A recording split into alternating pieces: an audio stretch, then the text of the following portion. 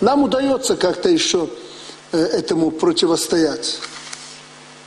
Приезжали к нам голые какие-то женщины с Украины. Как-то они называются? Фемен. Как? Фемен, Фемен группа. Фемен, да? И меня изображали там, правда, у меня не такая грудь, как у них. Ходили, телепались тут. Мне уже, да мы их тут, не трогайте. Не трогайте. Ну пусть походят, ну что то Все равно то, что увидит здесь несколько, ну две тысячи человек увидит их. Если мы их хватать начнем и прочее, они еще свою грудь кому-то на плечи положат, сфотографируют и где-то скажут, что это я или еще что-то. Не надо.